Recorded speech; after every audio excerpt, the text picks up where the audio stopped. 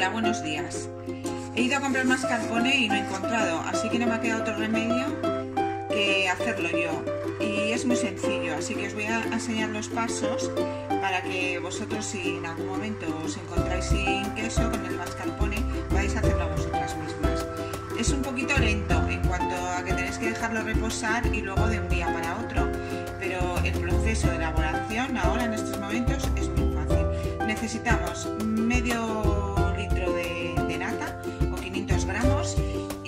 aquí he puesto 10 em, mililitros de zumo de limón, un termómetro, porque es importante que la temperatura no pase de 80 grados y, y luego tenemos que hacerlo reducir un poco para que la lata pierda el agua.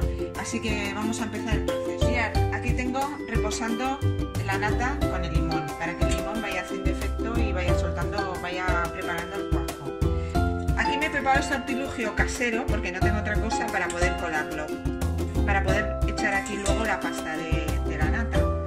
Y le pongo un paño. No puede ser de gasa, porque la gasa se colaría muchísimo y se nos iría todo, todo el líquido. No, solamente el suero de la, de la nata, sino también el resto. Así que tiene que ser más o menos, yo tengo este que es un paño de cocina, que es de los más desgastados que tengo, que es de algodón y no es muy grueso, ya no está tan grueso como al principio. Así que lo voy a utilizar para, que luego veáis, veáis cómo, cómo voy a dejar el queso. Bueno, vamos a dar el último paso para el queso. He cogido un bol más grande, el colador, encima del colador ponemos el trapo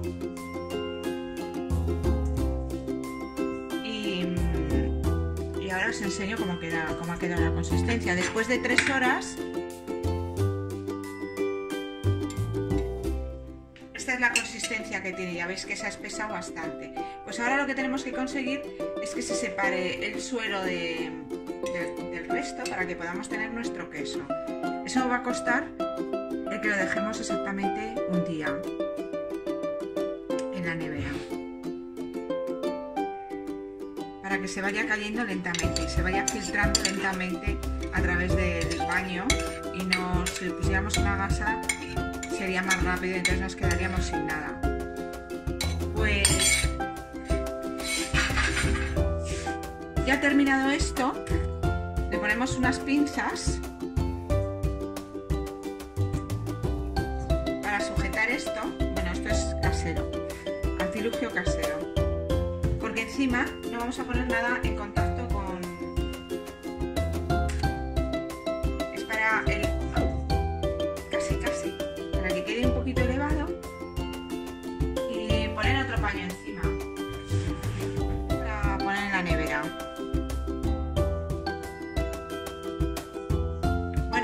resultado después de haberlo dejado toda la noche.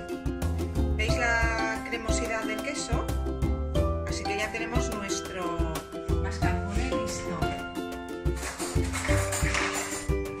Para hacer con él lo que queramos. Con esto voy a hacer el domingo una empanada de hojaldre con trigueros, mascarpone y ya veréis qué rico.